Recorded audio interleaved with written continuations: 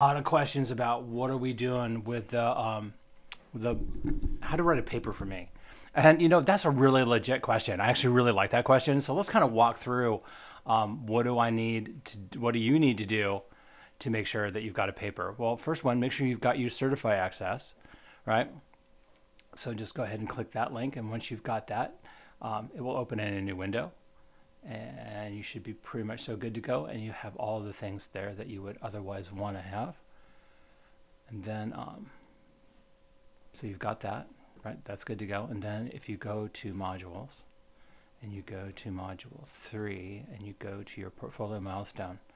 So this is essentially what you need to do for me and for this to just get graded. Really easy so write a project scope management. These are the things that you would do. Now, here's what I would do, honestly. Let's just go ahead and let's bring up a, uh, a Word document so that I can actually just go ahead and do this like real simple here.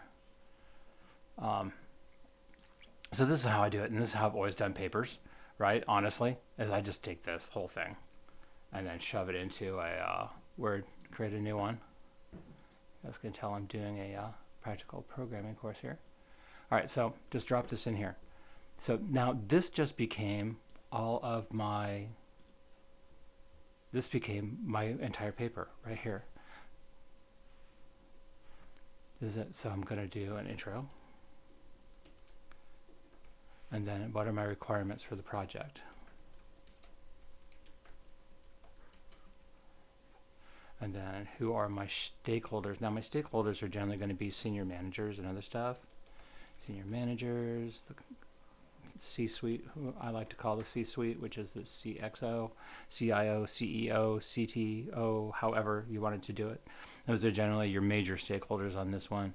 Scope, what are we building? Why are we building it? Work breakdown, work breakdown dictionary, roles and responsibilities, deliverables, sponsor acceptance, and scope control. Um, so, you know, what conditions are you going to use to make sure your scope stays in, in line, right? And then again, for your sponsor acceptance, when, when do we call the project done?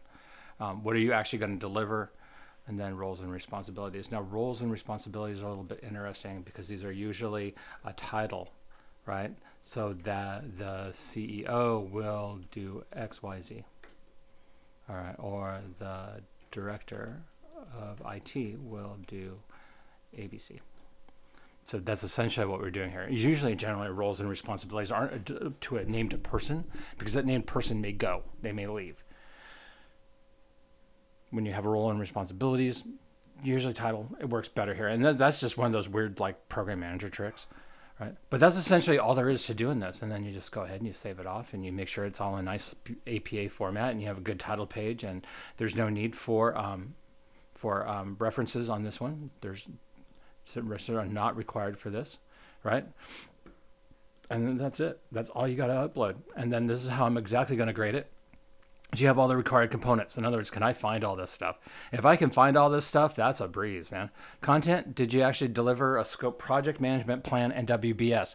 So I'm going to be focusing in on these two items, right? Your project scope, which is going to be your scope statement, and your WBS. That's really where I'm going to focus my attention on.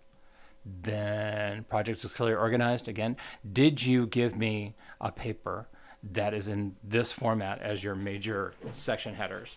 Right? Did you give me a wall of text? If you gave me a wall of text, I take points off for organization because if I have to go hunt and find for this stuff, um, the harder it is for me to read, the, that's organization. That's college proficiency. That's being able to organize your paper so that it's easy to find everything.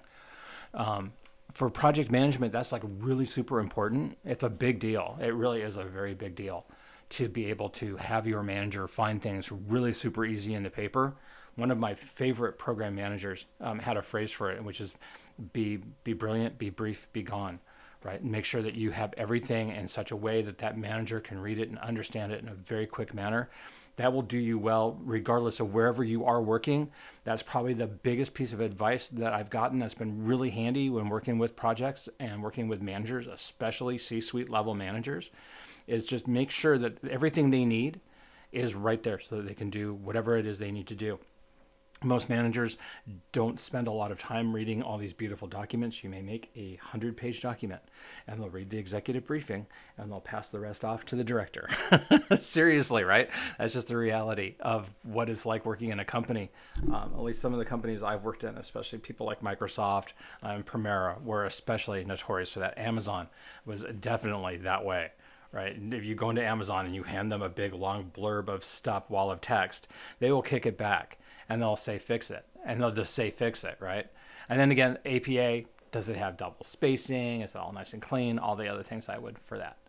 So that's essentially all I'm looking for in, in any paper, right? It's just I would literally just pull this out of anything, and again, same thing for your project week four, right? However you want to do it. Let's go and take a look at project week four. Your um, critical thinking here, right? So they tell you exactly what they want. Schedule, plays a vital role in the project. Project scheduling. Paper should be at least three pages in length. So let me see if we're going to do that. We're going to do project scheduling. All right, so let's do, let's go on down here.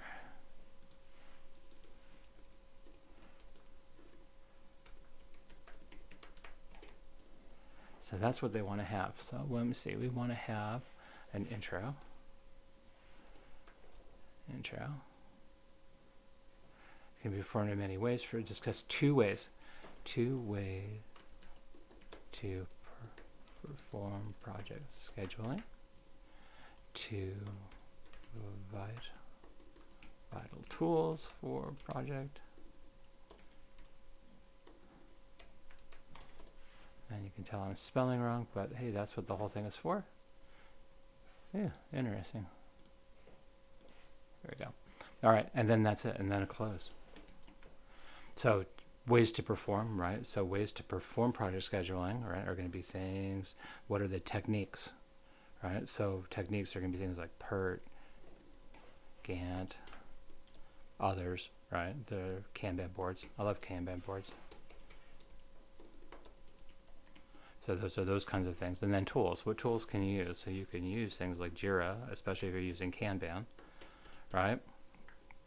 Um, PERT, Gantt, you can use MS Project.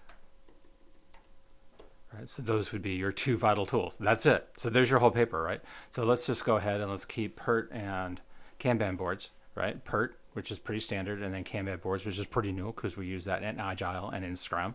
Then the tools, hey, these are my tools, Jira, but there are other tools for Kanban boards, and then PERT, we'll just use MS Project for that. And then there's my paper. I've formed out that paper, how I want it to go and now I just break it down. I've got to cram that into three pages. Three pages in length, right? So a page and a half just regular. And just by putting in my my whole thing here, I've already got half a page, basically.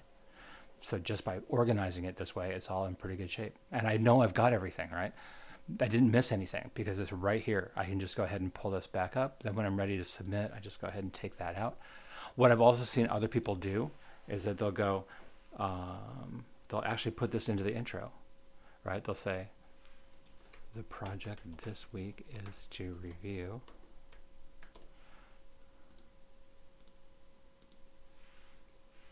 to review how scheduling and then so on right? And that's interesting. It's a legit intro. It's a really easy intro to do. But again, you want to paraphrase this, otherwise this is going to pop like way high on Turnitin. But just re rephrase it. And then you guys notice I've got some pretty uh, interesting tools here this week. But that's essentially it. You can do all these things, and that's how to just write write a paper. That's how to organize a really good paper. Just pull out straight from the file, and then just go ahead and start organizing it in your file here, and then boom, you're good. Okay. Remember, ask me anything. I'm like really more than happy to answer any of your questions. All right, guys, thanks for all the, the input. I've had some really good discussions on the side about this this week. Um, hopefully, not too late. All right, thanks. Talk to you later.